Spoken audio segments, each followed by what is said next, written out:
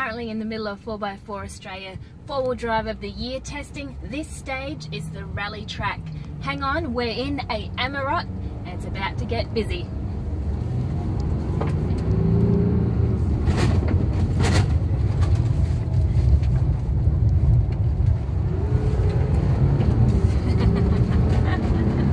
Corners really well the Amarok. Plenty of power there compared to some of the others. Very impressive.